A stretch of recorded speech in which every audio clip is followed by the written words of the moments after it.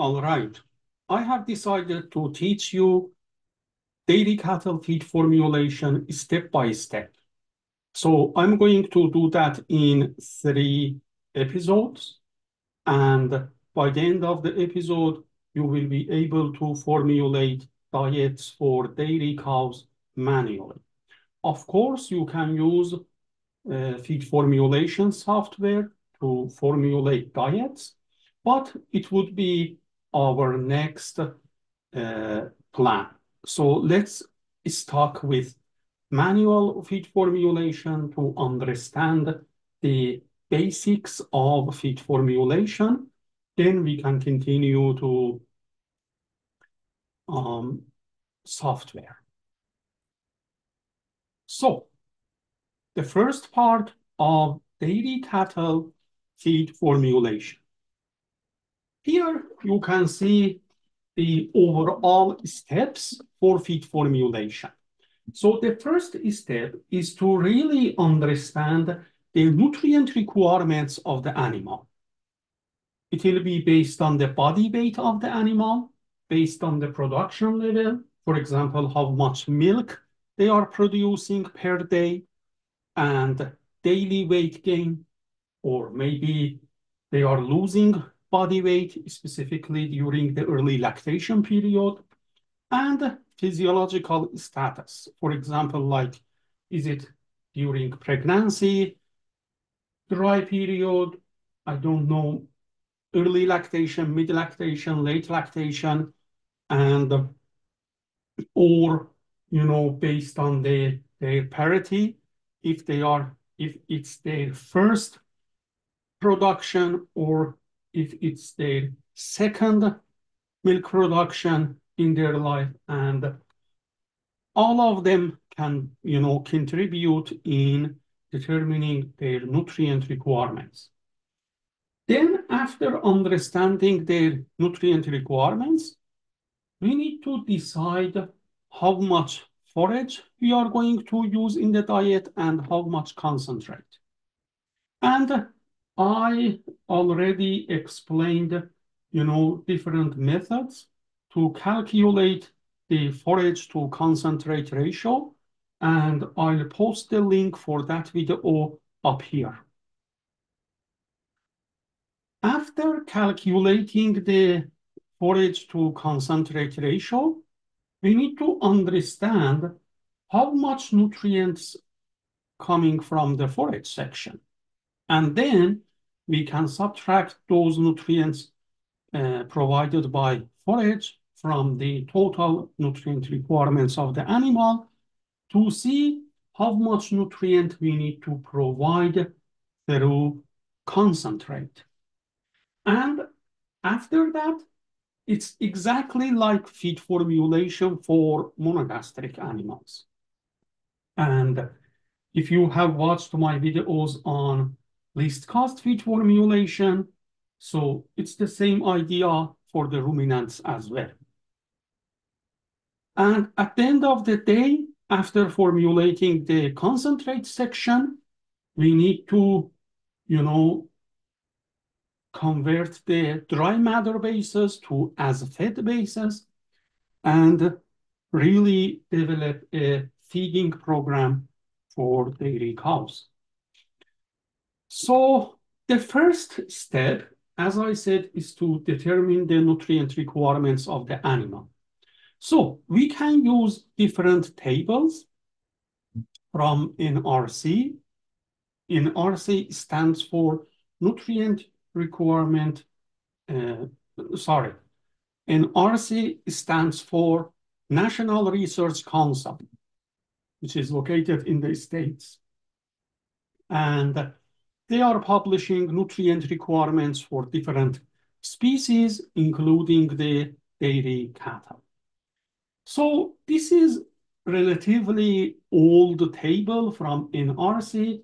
You can see different sections here. For example, we have a requirement for maintenance. And after that, we have again requirement for uh, you know, maintenance for mature calves that they are in dry period and, you know, last two months of uh, gestation. So here, as you can see, nutrient requirements are a little bit higher than the normal maintenance requirements. And then we have requirement for milk production based on uh, uh, milk fat percentage and also body weight change during the lactation. You can see some negative numbers here. So they are related to weight loss. So if your, you know, cattle are in uh, early lactation, they are losing body weight, you know, to su support the milk production. In that case, we need to account for that body weight loss. Or if they are in, you know, mid production or late production and they are gaining weight, in that case, we need to uh, add it up to the previous requirements. So overall, we will have three types of requirements for dairy cattle. Maintenance requirements based on the body weight, milk production requirements based on the daily milk production level, and body weight changes. This part can be negative during the early lactation for body weight loss, or can be positive for mid lactation and late lactation when our cows are gaining weight. As you can see here, we have different terms for feed energy. NEL stands for net energy for lactation, and we will be using this term to formulate diets for dairy cows. We have protein requirements and some minerals requirements like calcium and phosphorus, and we can use them in feed formulation. We have newer version of nutrient requirements. As you can see, this table is from NRC 2021. You can search for that online. And again, the idea is the same. So we have nutrient requirements for growing cows and heifers here. And also we have, you know, nutrient requirements for lactating cows by parity and body weight and days in milk. So based on the parity, if they it's their first milk production, or if they are mature cows, it means that you know, uh, the second milk production cycle or later milk production cycles, in that case, we need to use the relevant information from this table. So again, here we have dry matter intake for uh, our cows and also energy levels. Again, it's better to use the NEL or net energy for lactation if you are uh, formulating diets for um, lactating dairy cows and protein level. Of course, here you can see we have a more advanced term for protein. We can see metabolizable protein here, and we can balance the metabolizable protein uh, instead of crude protein, which will give us really, you know, uh, more accurate and precise Uh, information about the nutrient requirements. So in fact, if you look at the nitrogen metabolism in the rumen, or let's say protein metabolism in ruminants, you can see overall we have three parts.